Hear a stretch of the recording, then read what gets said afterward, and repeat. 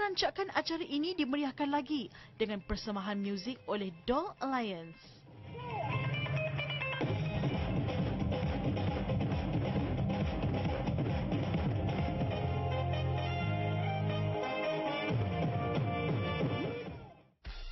Really great feeling. The vibes are so positive. The people are here all smiling.